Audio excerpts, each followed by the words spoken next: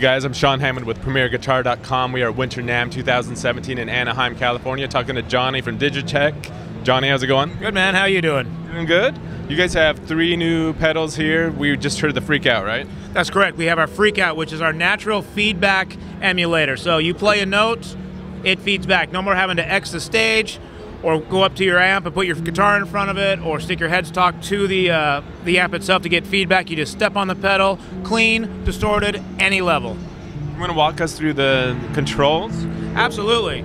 So you basically have a momentary switch where you just step on the pedal and the feedback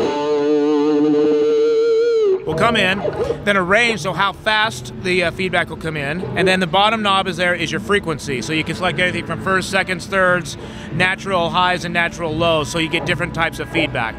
Real simple to use. Seriously, just hit a note, step on the pedal.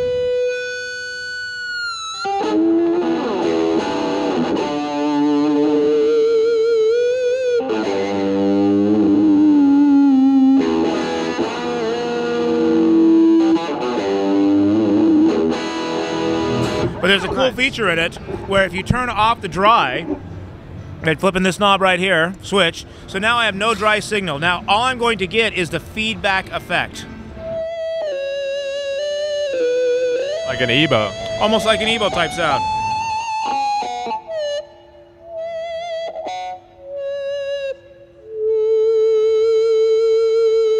Now the momentary, is that other toggle called momentary? Yeah, the other one's momentary, so basically when I step on it, I'm just kind of using it as expression that way. Turn that off and go into latch mode, I can be anywhere on the stage and not have to sit at the pedal and do it. So as soon as I hold a note,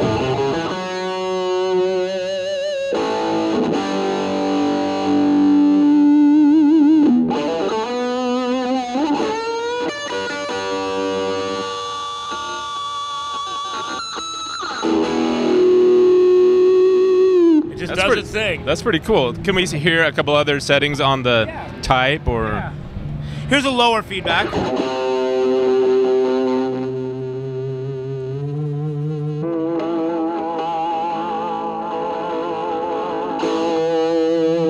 Cool.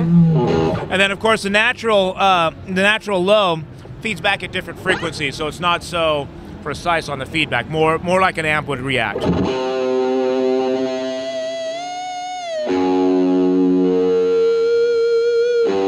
See how they're different notes there's feeding back on? The harmonics, yeah. Yeah, so that's the FreqOut. How much does that go for? That's 179 and it's a total game changer.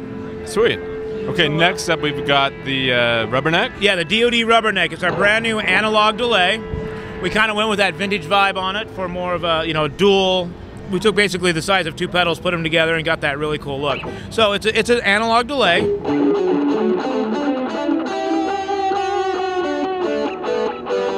But the reason we call it the Rubberneck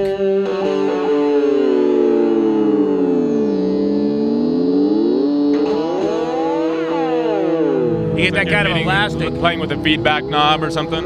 Yeah, it's kind of just taking a pitch, a pitch thing and doing it. Now it also does oscillation.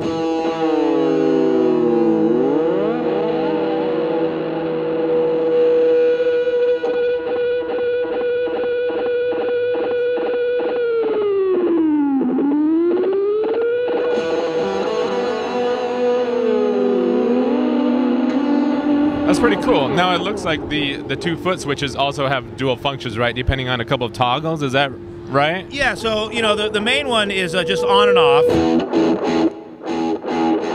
But then if you step on it and hold it down, that's where you get the rubbernecking. The other one is a tap tempo and the regen. So you don't have to toggle anything to switch those functions. It's just whether you momentary or hold it down. Correct, exactly. Very cool. How much does the rubberneck go for? 249. Cool. And then lastly, Lastly, we're running everything through our CabDryVR. So this is a speaker simulator, which allows you to take your pedal and run it directly into a PA, which is what we're doing, or run it straight into your DAW for recording. It works for guitar and bass. It has seven different types of uh, speaker cabs in there. So anything from a uh, 212 American, 212 British, to 412 Greenback, to a single eight. Um, you name it, and then if you flip it over on the bass side, You can have uh, and run in, run out stereo. You can have a 410 and a 15, or two 10s and 410s, whatever combination you can think of, and run it. Is together. that you coming through the rubberneck? Yeah, it's still, feed, still feeding back. It just keeps genning, genning, genning. Nice. So without the uh, without the CabDryVR, we have it engaged right now. If I turn it off, it's real wiry And we're, and we're actually miking a PA here. Yeah, we're kind of doing it different. We mic'd up the PA. So this is with it on. Off again.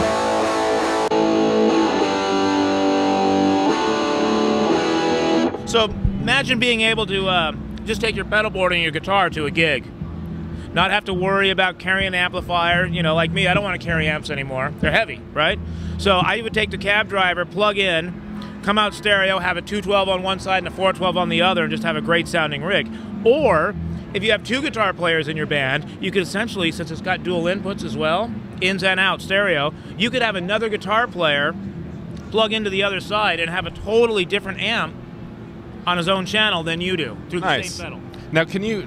This is a on top of that is a separate. Well, it's not a separate product. It comes with it, but that's like a, a settings guard. Can we take that off and show the controls? Absolutely.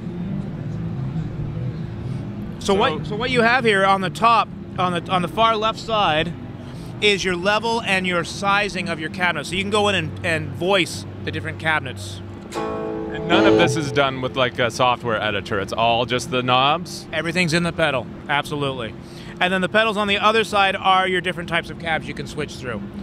Top being A, uh, B being the bottom on both of them. Then the, the toggle in the middle is either for guitar or bass. And what are some of the options? I can't really read it from here. Well, um, it's just it just says like C1s, Cap 2, Cap 3, but everything from American 212s to vintage 212s to a single 8 to a uh, 412, 412 greenback, you name it. Cool. How much does that go for? 149. Nice. All right. Why don't you, you uh, close us out here by showing, telling everyone where they can go online to find out more. You can find out more about our products at digitech.com. Of course, your favorite online retailers, and be sure to hit the shops as well. They're going to be shipping in March and April. We'll see you soon. Thanks, Johnny. Thanks for watching, guys. I'm Sean Hammond from Premier- PremierGuitar.com.